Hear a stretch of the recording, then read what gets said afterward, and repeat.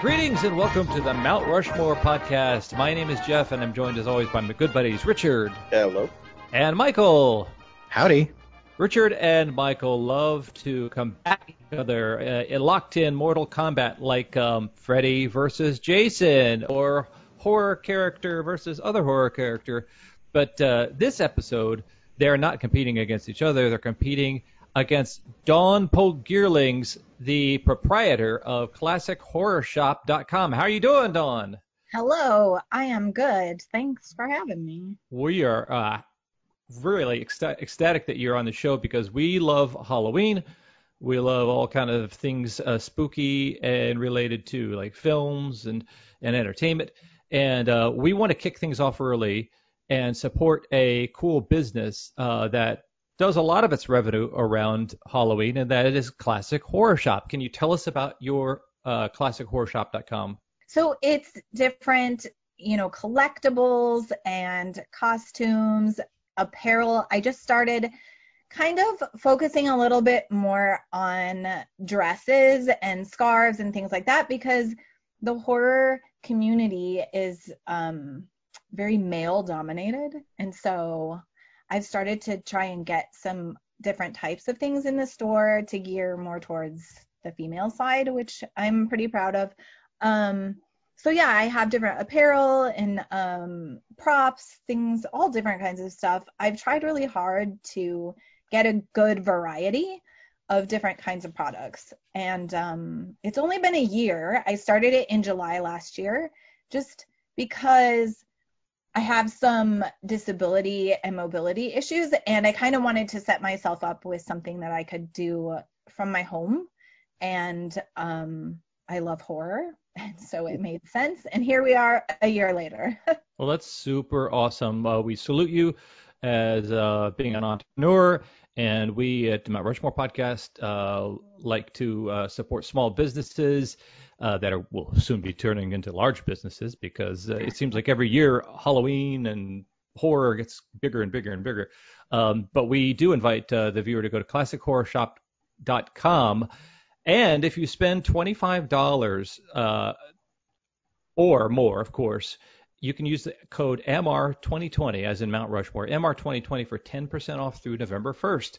This won't be a very plug heavy show. I'm promising that this is going to be about the topic which we have chosen, which I haven't even introduced yet, and that is a new classic uh, horror characters, the Mount Rushmore thereof, new classic horror characters.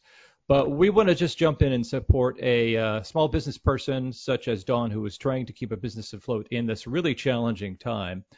And I want also uh, reiterate, I'm looking at the site right now, and oh my God, these dresses are super cute. Like if you look No, at them right. from uh, like back, you don't necessarily know that that's like a uh, a Jaws uh, cute uh, swing dress or like a Universal Monsters head of swing dress.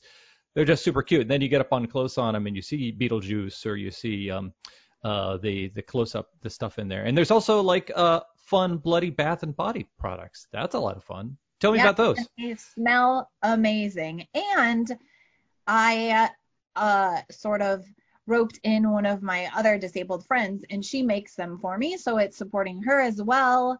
Um, so I try to support people that I know and other small businesses, especially because of COVID. All of our trade shows got canceled, which sucks. So, you know, I'm trying to help other people when I can. There have been some virtual trade shows, but, you know, being at those shows in person with the horror community is so much fun. I mean, it's challenging as a vendor, but it's all worth it because of the conversations and the people and the horror community is amazing. I love doing those shows. So they're definitely very missed. Awesome. Awesome. Cool. Well, uh, it's all horror all the time, all year round at classichorrorshop.com. And we're going to get away from the plugging, plugging, plugging and get into the conversation. And so, Dawn, how things work here on Not Rushmore podcast is you're going to make a choice as to your first choice, and then they're going to choose their first, second, second, third, third, fourth, fourth, and we'll go uh, till the end and see who wins. So, uh, the topic is the Mount. Quiz? Pardon me? Is there a quiz? You didn't tell me that part. No quiz. No, no, no, no Oh, quiz. good. You just you just tell us uh, uh, your choices. So we'll start with the first choice of the new classic horror character, and which is it, Dawn? It is Wednesday Addams. Oh wow, that's a good. Right? That's, that's awesome. That's an awesome choice. Yeah. Why did you I- choose Wednesday? Love her because she's a little creep like me. And, you know, she wears all black like me. She is pale like me. She hates summer and summer camp like me. Um, not a fan of the Girl Scouts.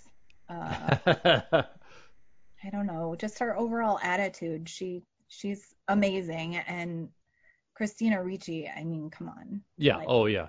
Yeah. Even just her expressions, like when she lights up Pugsley in the first one, Uh-huh. just her Right. little expression, like she's amazing. That character is so good. Like, hmm yeah. I think there's also there's also an implication that though she might not be a serial killer yet, she is she's just you know she's doing all the homework. she's She's on her get- way. she's on her way. She's studying to be the the serial killer of the um you know the next century. Yeah, I love it. Not That's that a I, fun. Sorry, not that I love serial killers, but you know, in the movies, I love serial killers. I love that you came out uh, with a uh, non-male character because it seems like, uh, like in life, cinema uh, tends to portray the uh, guys who are usually the people causing chaos and murdering people. But uh, Wednesday has even within this uh, family that she's part of that is very odd and um, different. She's even kind of more different than them. Uh, it seems like um, uh, Gomez has such a joie de vivre for life um, that it's uh, she she almost has to be in a state of permanent eye roll with her crazy family too. She never gets out of like that serial killer mode. she's she- just always lasered in there. Yeah. Cool choice, Dawn. All right, guys, what do you got? All right, so our first choice is Freddy Krueger. Oh, awesome, cool. I was looking at we are looking at some of the most iconic new horror characters, Mhm. and just by number of films created, if we're Yeah. talking about sheer volume, Yeah. Freddy Krueger has to be on there. Um, you know, and I think Freddy Krueger for me, there's like two distinct Freddy Kruegers. Hmm There's the Freddy Krueger from the original Nightmare on Elm Street, and then there's the Freddy Krueger from any other Nightmare on Elm Street that Wes Craven did not direct. Oh, okay. Um, and I think the one that most people remember is the second one, hmm where Freddy Krueger was kind of this wisecracking, almost like a, you know, you could picture, you know, a direct line between him and Deadpool, Ah, that's a that's a mm. He's fun almost like an- like an evil version of Dead of Deadpool. uh-huh. which is not how the first Nightmare on Elm Street is. He is a frightening child molester, come to life, you know, stuck in the stuck in dreamscapes where he can kill people, hmm and there's no one-liners. He taunts people before he kills them, but it is not meant to be funny. hmm Um, Now, okay, there's a bathtub scene that's pretty funny, and there's a tongue coming through a receiver that's kind of kind of slasher version of funny. yeah, there's Yeah. it's yeah, it's a Wes Craven film. So Yeah. I was, you know, I was unrelated or semi-related. I was watching uh, Poltergeist with my uh, daughter last weekend, and I had forgotten just how funny Poltergeist was. Oh Like, yeah. it's, it's a Yeah. very funny movie. I mean, obviously, it's very scary, and there's certain scenes that you know made me question if showing it to my 13 year old was the right idea or not. but we we plowed through, and yeah, and so Wes Craven definitely has that undercurrent of comedic release hmm with the tension that is being created by the horror. Yeah. It's certainly something like like a Sam Raimi or someone like that. You can tell, kind of studied under his, you know, learned from that. hmm I think also he feels like, or at least the, the character as designed feels like them something that has extended from like the original Universal horror monsters were very much um, built upon makeup and looking visually so striking, be it you know uh, the Frankenstein's monster or the Mummy or who you know the Wolfman, that you see someone like um, Freddy and his he's just burned and scarred and just very iconic looking with like all like his three elements, like the hat and the sweater and the gloves and the face, I guess four elements. But like all of those kind of like they pull into something where some more classic horror monsters are very and I think any probably any of the people that we talk about, there's something very iconic looking about them. There's something so distinct. This is why they stand out. They're not just you know, um, you know, a guy in a sheet or I don't I don't know what. But I think Freddy does that. He there's something visceral about seeing like someone that's burned up and. And I uh, think and, and I, and I think the way that he kills his his his prey, to call it lack of a better term, it's psychological as much as it is anything else. He's not the boogeyman who you can shoot six times and nothing's going to happen to him necessarily. He's not a, you know, he's not the horror bad guy as an as an indestructible monster. He is someone who who winds up killing his his victims more through psychological means than anything else. Mm-hmm. And I think that's that's an archetype that you can see kind of as a through line through a lot of modern horror bad guys. One thing Freddy seems to have a little bit in common with Universal monsters is uh, his scars from come from a vigilante justice, right? Don't the parents gang up on him and yes. kind of chase him into a burning building or something like that? They burn the building down with him in it. Okay. Yeah. So like uh, Frankenstein's monster, you can kind of imagine him being pursued by this mob, and therefore there, whether it seems whether it is motivated by uh, a personal tragedy or not, it's still mob justice, and so he kind of exists almost as the uh, product of the sins of the society that he lives inside of, even though he he himself is definitely no.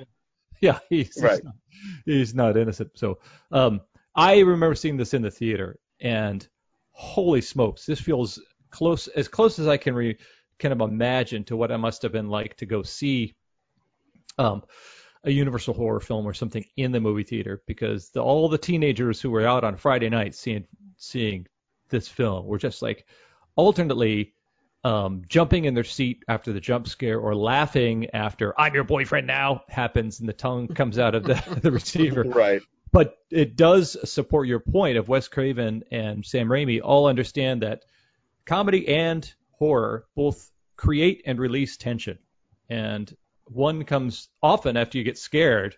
You jump and then you laugh because it's like the same thing. Basically, it's the other side of the coin of right of, of laughter. That's a fun choice. That's a fun choice. And our, there's a, a Jackie Earle Haley was kind of the second Freddy, and I, he's such a good performer. It's a shame that that uh, didn't take off. Yeah, it's also interesting that Robert Englund was known for being a good guy type character, type Mhm. actor. I mean, most people, if you knew him, you knew him from V. Yeah. So he was definitely playing against type whenever he stepped into the Freddy Krueger role. Yeah. Okay, Okay. here's the thing. Uh huh. So I wish I could show you the notes I wrote because Oh wow. I had Freddy and I said almost the exact same words about how iconic and how it's so impressive that you see one thing a hat, a sweater, the glove, Mhm. and you know exactly who it is immediately. And there's so much to be said about that. You know? Oh yeah. You know, Jeff, it's always a bummer when we have a guest on and then they they are basically can outduel you immediately, and you're like, okay, well, I'm done for this show. Wel- welcome, Dawn, new member. I'll see you guys later. It's been a great four and a half years. No, but I don't know what happens now because one of my characters. Oh, that's uh, perfectly fine if you guys choose the same thing. That that's that's awesome. That means brilliant minds are thinking alike. no, okay. I'll add- what you said was almost verbatim what I had written. So I was sitting here going, "Oh my gosh, this is crazy." Yeah. So what do you, what do you like about uh, why would you have chosen uh, Freddy Krueger, Dawn? Because of the iconic uh, Yes. clothing and the yeah. Yeah, I mean, you know, there are few movies where you see one piece of clothing or one prop or something, and you know exactly. And it's not just us; it's everybody. You know. Yeah. And I just think that that's really impressive. Yeah, it's funny with uh, Bela Lugosi, I imagine at the time of uh, the Dracula um, films coming out, uh, maybe one in three or four Americans may have owned a uh, tuxedo and a kind of some kind of exotic European medallion or something like that. But uh, I it might have been greater that uh, a sweater, a striped sweater. Hey, half half the dudes in in the U.S. probably had one of those. So it is kind of funny that that the uh, the the wardrobe supervisor on these films were like, well, why don't we give him a nice sweater? I think he's probably the only horror character who wears a sweater. Okay, uh, Dawn, what would a what's another choice that you have that is not Freddy Krueger, but it's one of your four? Okay. So, Ash Williams, Evil Dead, right? Because yeah. this guy, I swear to God, he gets his ass kicked worse than any character ever, all time. Like, he beats himself up, his friends beat him up. Like, he's so bloody. He cuts his own hand off. Like, come on. There's just no one who has suffered more than Ash, to be yeah. honest.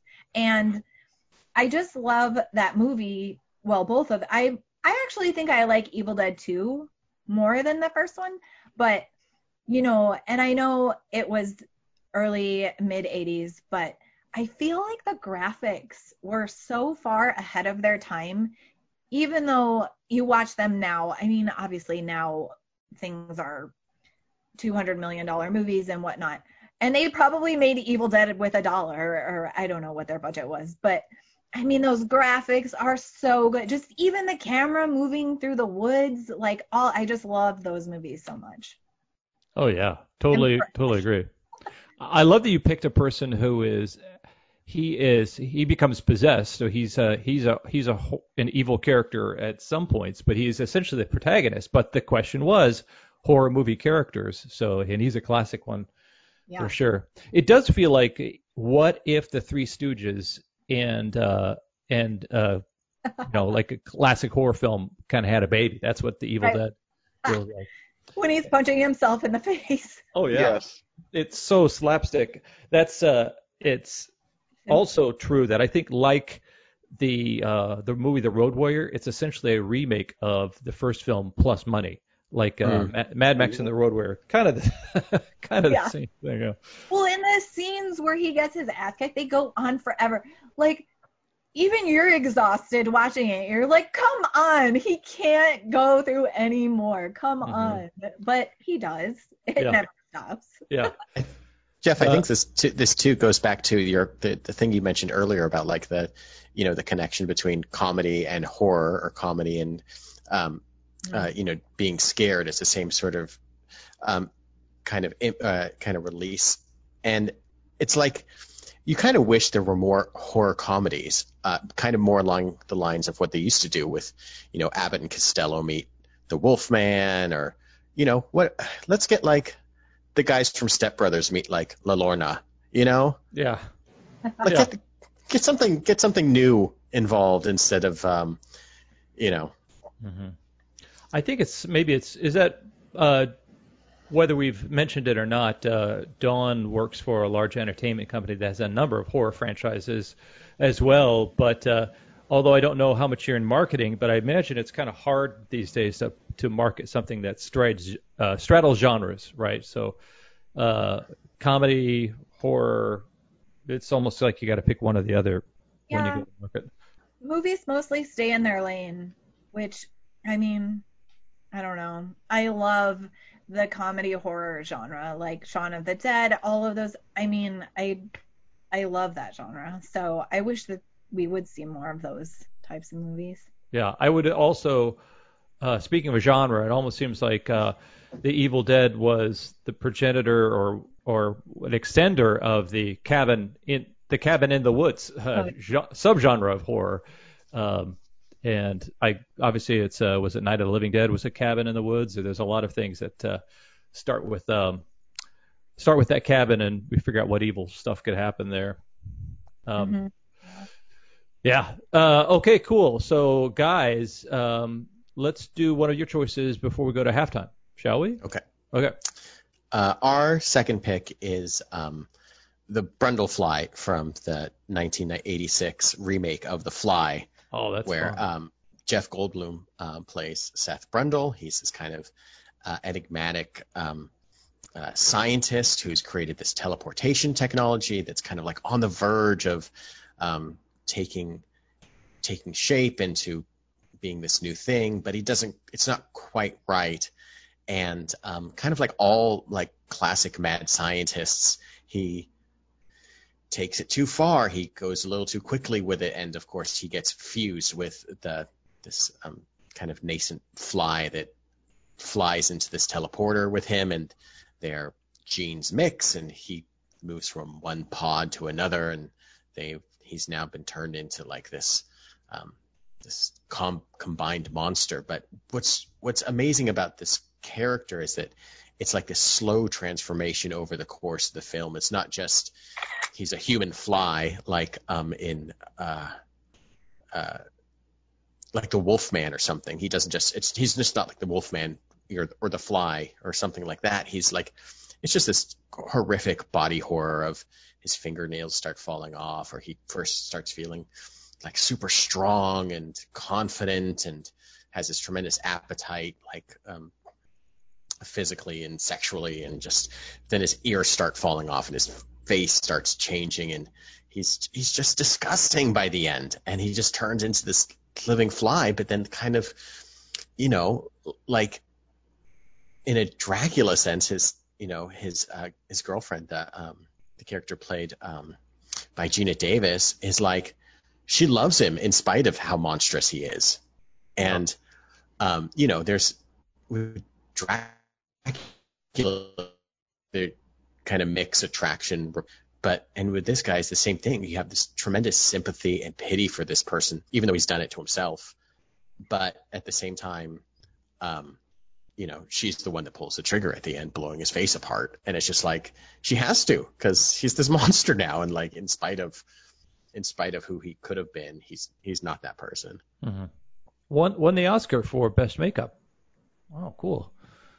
Yeah, that, that transformation. Um, I, I well, Jeff Goldblum already has a little bit of a creepiness about him. Like he mm. he's such a lanky. Right. It, it, I wouldn't say he's insectoid or anything like that. Like uh, Dawn, you know, or anybody could kind of remark on whether whether he has a relative amount of attractiveness or something like that. But uh, um, yeah, the the the character that he turns into uh, feels like something as Cronenberg usually does. That feels like something that is a nightmare that I would have. I would have a nightmare where I, I'm in school or in the office or something, and my my toenails start coming off, or my my hair on my face starts growing out, and I can't do anything about it. So uh, he feels very relatable, very relatable. That's a fun choice. The like horror and like science fiction and like have always kind of gone hand in hand of like the human being that isn't quite human anymore, whether it's like you know via magic. I guess that's not quite science, but like you know magic with the Wolfman or like you know Gillman from the creature from the Black Lagoon being like this piece of science that's kind of evaded humanity for thousands of years, or you know, the aforementioned Frankenstein's monster. It's just there's something that is horrific about all of these things of a human body transformed into something you don't quite recognize. Yeah. And I think I think he falls right in line with that sort of um, that sort of uh, creature that is just horrible to look at and to think about. Uh, mm-hmm. to, you know, it's always it's it's fun to you feel like what? I Go feel ahead. that way about my body lately. what, what am I transforming into? that's that's what I've have learned about aging is uh, I, I'm not losing my hair. I'm just going through a hair relocation process. It's gone. It's gone from the top of my head to the to my back and Ooh. other other undecorous places. So.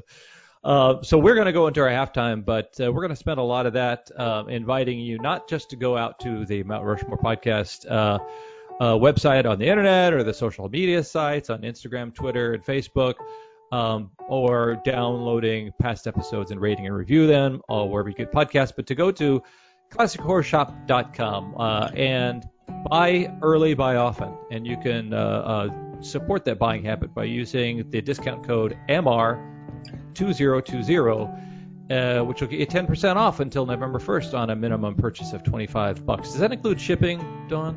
Is that? No, and that was something that you just made me think of. You know, the post office, not to their fault, is not doing the greatest job lately. So Yeah. I suggest ordering things that you want for Halloween earlier than you normally would because things some packages have taken, you know, 5 or 6 weeks if it's first class mail.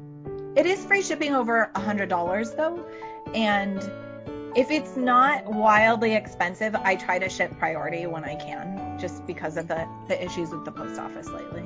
Ah, right on. So, uh, thank you so much for offering that discount. MR 2020 uh, gets you 10% off uh, purchase of $25 or more up through November 1st. So, here's the deal. You can also do some very practical shopping. Uh, it's not just the fun extra stuff because uh, we all have these necessities, right? There's there's uh, bath products. We all got a shower, right?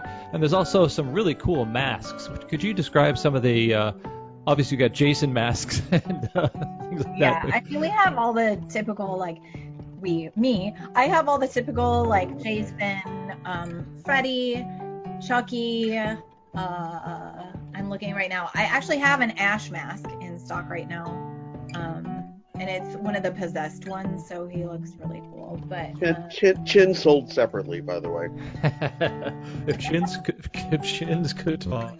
Uh, so yeah, so um, there, there's uh, so much cool stuff out here, and I just want to remind you that I'll I'll say it that we use support classichorrorshop.com. Hey, you're doing uh, um, your Halloween shopping they're going to do anyway. and You're supporting a small business person, an individual happens to be disabled and is hire other hiring hiring other otherly abled individuals to work in the shop too.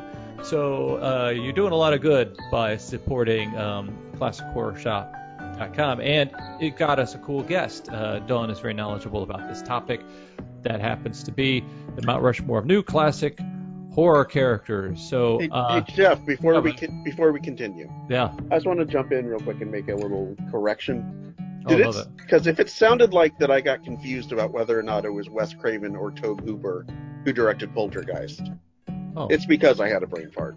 oh okay. yeah. So just just making sure we don't get yelled at about that online by any of any horror film fans. Uh, depending on who you talk to, they'll say Tobe Hooper was just kind of on set and Spielberg was directing. Yes, there's Right. a little little bit of a controversy, but you know who it wasn't?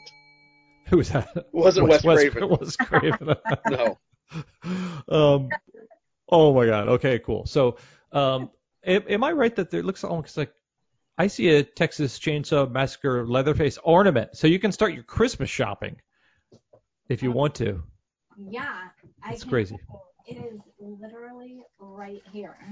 And they smell so good. Not that anyone else can see, but you guys can see, and you can tell them how amazing it is.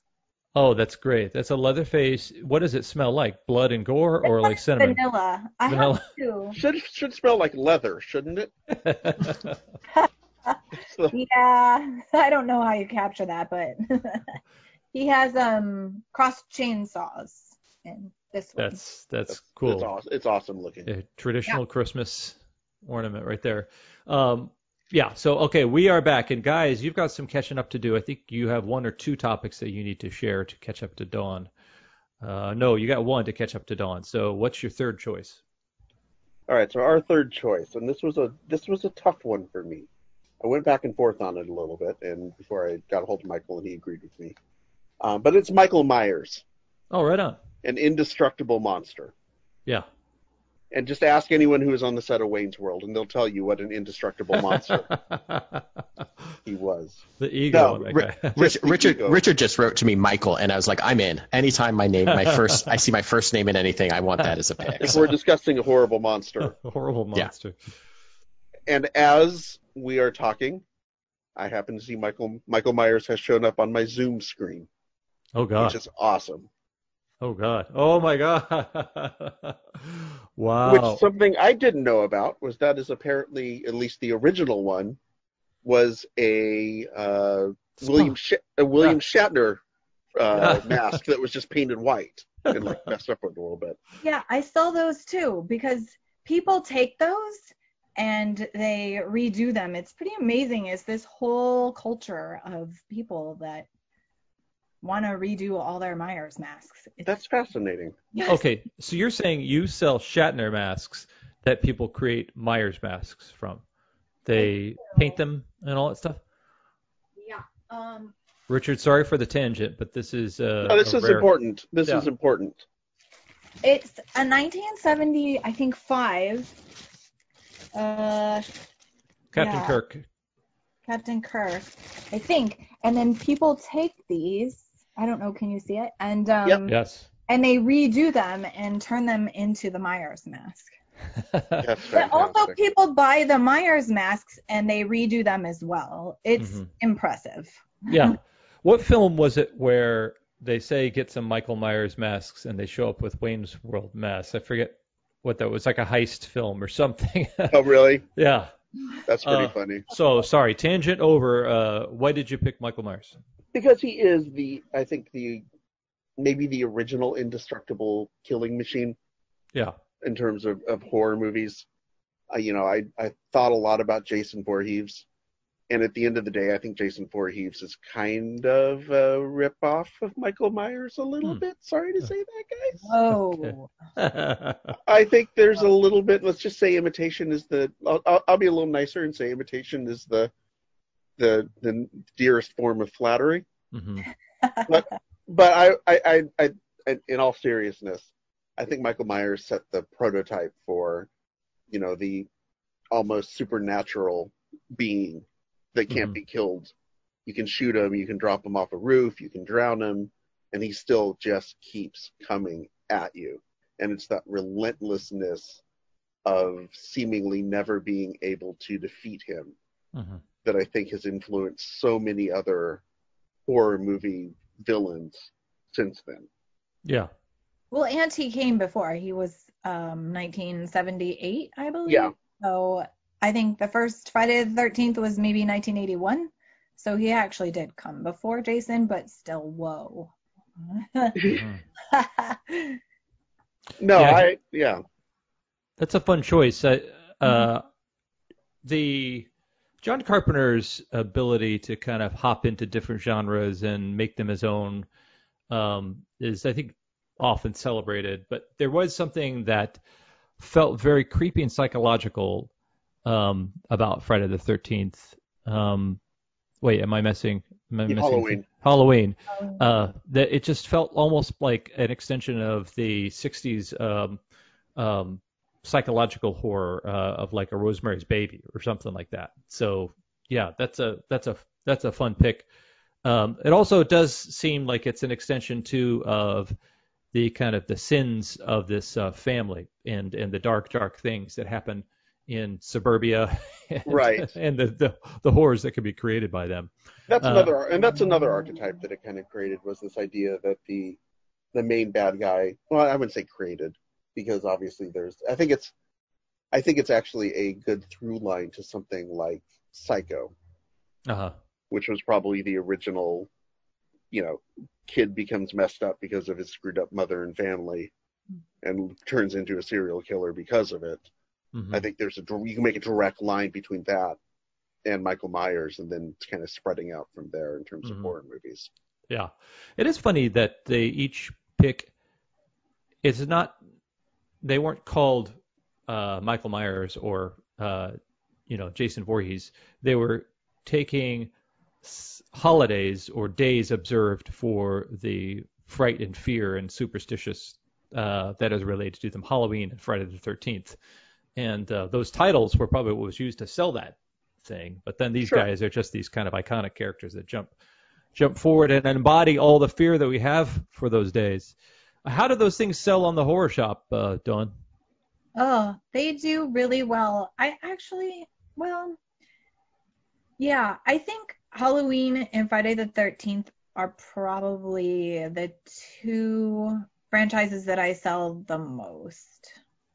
Um, yeah, I, I, if I had to pick, I would say those two. So obviously people like the classics and I'm a huge, huge fan of classics, more so than modern day horror. I just think that um I don't know. I feel like now movies are all CG and I don't know, back then they didn't have that and so you were just scared shitless just because, you know? It wasn't all like put in on a computer. It's genuinely scary. Yeah. I don't know.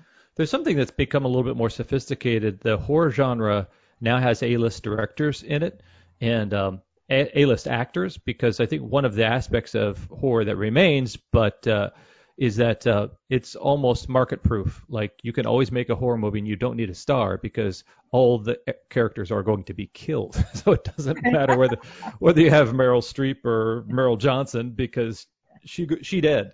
Uh, but the Halloween and Friday the 13th were also um, I remember watching them for boobies as well. Oh yeah, of course. Didn't we all? Come Yeah. on. so that was a scintillating aspect of that genre that uh, uh, I know I enjoyed for sure. I will say though, as a person who has misophonia, which is like the the condition, I don't know what it's called. It's a condition, I don't know, but it's where noises bother you. Oh yeah. The makeout scenes in those movies, I have to mute it. It drives me insane. I can't do it. Like Kevin Bacon, keep your lips to yourself. No, thank you. It's like listening, sitting next to Uncle Tony while he slurps some minestrone soup and his dentures are coming out. Like, stop. It's too much, and there's like so much of that in those movies. Uh-huh. Uh, all right, Dawn, what is your final choice? Okay, my final choice is, and I'm not a huge fan of sci-fi or that genre or alien movies or any of that, but this one falls in a category all of its own. Killer Clowns from Outer Space. Short. Wow. Okay, educate me on this because I've never seen this. Oh my gosh. Okay, it's like mid 80s and they are killer clowns from outer space and they come down to Earth to capture people and the way that they do that is they have these cool ray guns and they turn people into cotton candy cocoons and then they suck their brains out. Wow. wow. Uh, It's as if So good. as if uh, people needed a nudge to be afraid of clowns. Uh, this this helps. What do you enjoy about it? Is, is it the humor aspects of It it? It like it's very imaginative too. it's not scary. Oh my gosh, the sets are amazing. Like just everything about this movie, especially for the mid 80s, is amazing. Like if you guys haven't seen it, you have to and I recommend it. If anybody has not seen it, it's so good and they put it up on uh, Netlit, uh, Netflix in April. So I think you can still watch it on Netflix. Oh, that's awesome. That's awesome. Oh, am I allowed to plug that? Whoops. Sure. Wait, why not? Why not? Too late. You've got you've got a lot of homework. If you haven't seen classic uh, horror films, uh, listeners, this uh, a lot of lot of recommendations from us. All right, so guys. this one character, Shorty, right? I love him because he's tiny. He's actually short, which is why he's Shorty. But um, there's this one scene, and I don't want to ruin it for anyone, so I won't because it's very likely that a lot of people haven't seen it yet, but I want them to. And there's this scene with these bikers, and he uppercuts one of them, and he's you know half his size, and it's just so good. I have either of you guys seen it? No, yes, I, yes, I have. Okay, so a long time ago. A long time ago, but Oh, I've seen it. maybe you don't remember then. But yeah, there's that one scene. And a fact that I actually just learned two days ago was that Shorty, so none of the clowns were named, which is interesting. Uh, they don't speak. So they didn't really, I guess, feel like they needed to give them names. But so they actually named Shorty Tiny, but then um, the fans started calling him Shorty, and so now he's Shorty and he was the only one that they gave a name to and then it didn't stick anyways Nice. uh, were, were you to go to classichorrorshop.com, uh, they have a shorty costume. Um, I don't know how many sizes it comes in, but it's a, like a one size it's an adult Okay. and the masks for some reason i guess are stuck in customs so i actually don't have the masks but i have Oh. two other characters i don't know yeah, that's always challenging. There's like typhoons in China, and I, it's it's been an interesting year. yeah, I would say go to classichorrorshop.com. Uh, if not for the good deals with your uh, discount code of MR2020, for the great photography, because we see uh, we see Shorty and other killer clowns threatening a child. I think in one of these photos. Yeah, so yeah, we did that shoot at the old LA Zoo. That's horrifying. That's horrifying. I try my best. I try my best to uh, to create nightmares. Um, okay, all right, guys. Uh, you know, as as it sometimes happens, we give a topic that you guys may be knowledgeable at, but our expert uh, guest is really, really, really expert and knowledgeable at. So you're kind of getting trounced around the playing field here, but you do have one last choice to make a choice that's going to stand out. What do you got? I I got it. I got it. You got this. Uh, it's uh, the girl from The Ring, Samara, from the 2002 um, film of the same name, um, where she is this vengeful ghost from the grave. I guess all ghosts are from the grave, or maybe not. Uh, maybe they're just a ghost. I don't know. No grave involved. Never mind. She's not a ghost from the. Okay, she was cremated. She, oh, she was in a well. Just a ghost. Yeah. She just goes from the well. Yeah. It's kind of well. A well could be a grave. Sure. Um, Water who grave. has um, yeah, a water grave. There you go. She has um, somehow uh, cursed this video cassette with um, this promise of revenge if to have, for whoever watches it um, seven days later they'll die in this horrific death.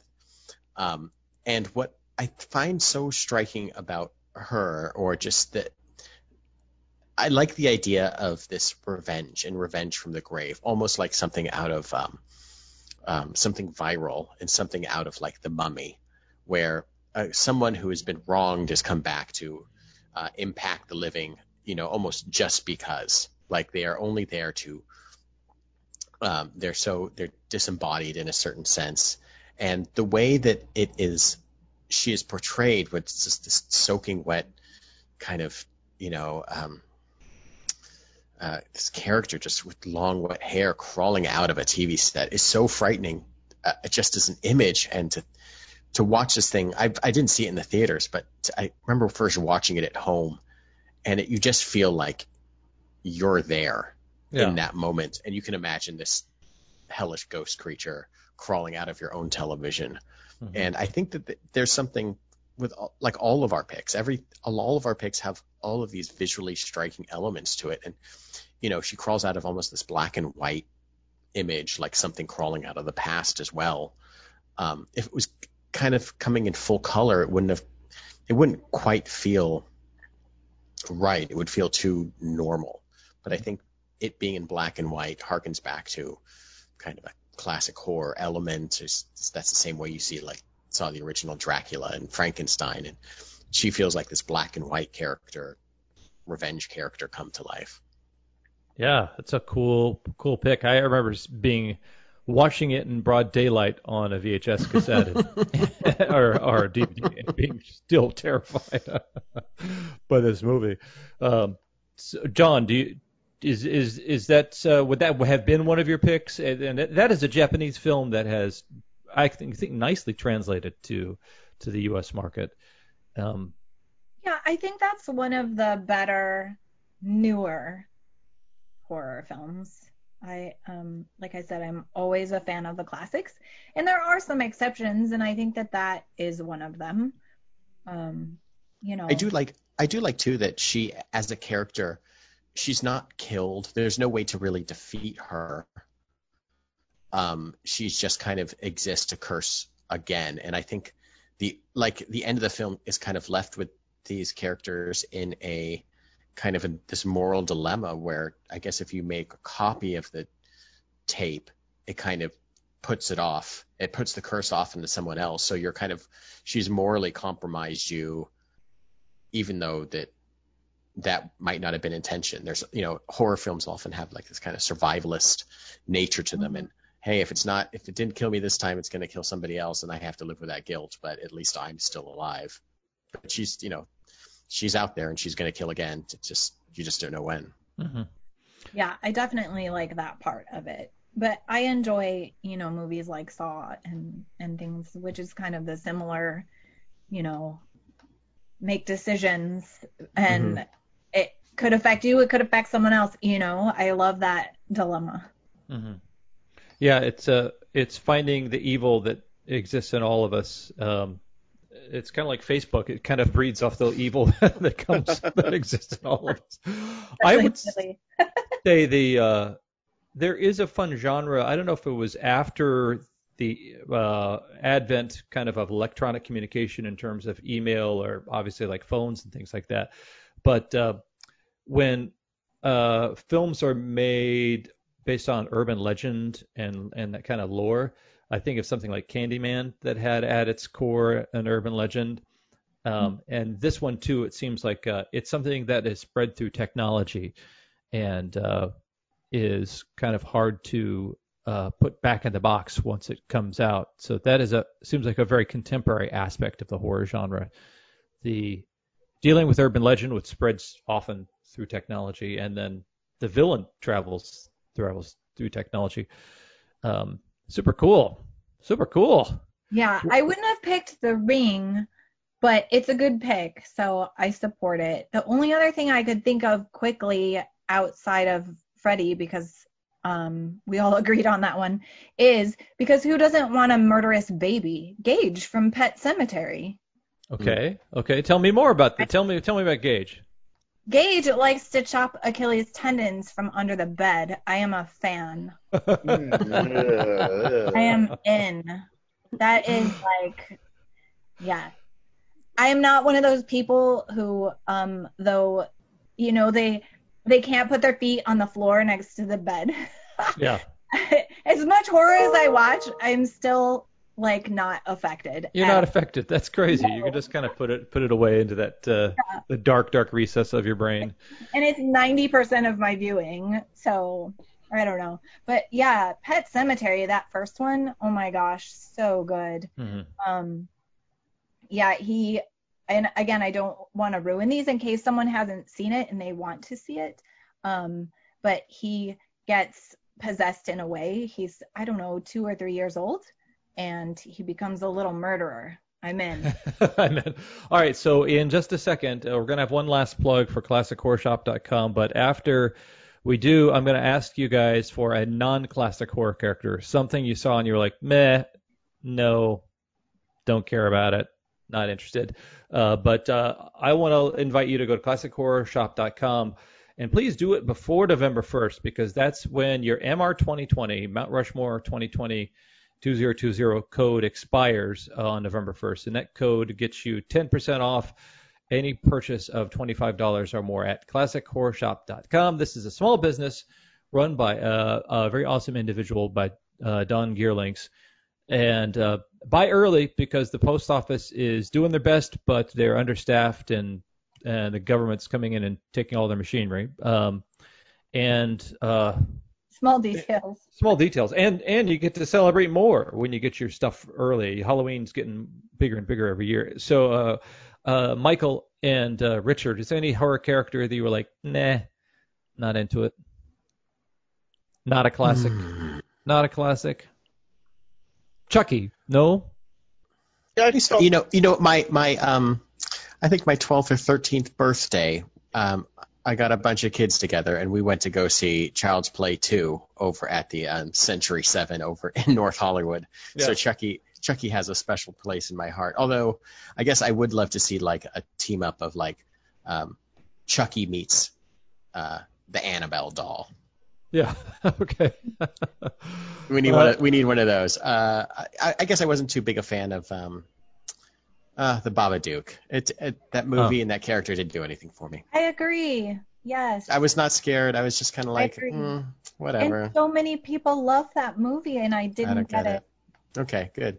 hmm the monster in uh throw a mama from the train scared me oh that was a person that was a that's Ruth That's Gordon it, or no, what's her name? um, what's uh, what's funny about the era that we're in right now is the real monsters are scarier. Oh There's yeah. this thing. There's this thing called Mitch McConnell that they show on TV. Uh, Yeah. like, oh, And the missing Uh, link between man and frog has finally been yeah. found. Yeah. Turtle. So Dawn, for you, you uh, any character you were like, meh, not into it. Oh, well, the Babadook, but um, there was a movie that everyone loved, and it's not necessarily a character, but I thought it was the dumbest, maybe horror movie that I've seen. It follows. Oh, okay. I've heard I heard kind of raved about that. Everybody, it was so dumb. Uh-huh. Is is that uh, trying to introduce a little bit of uh, um, kind of uh, when I think of like the, the superhero genre, um, they're no longer just superhero movies. There are thrillers, there are rom coms, there are um, espionage things, you know, uh, and it seems like horror is, is as a genre. A-list directors are getting in there and trying to turn turn it into uh, a little dress it up a little bit, um, and that maybe that happened to that movie. So it took itself too seriously.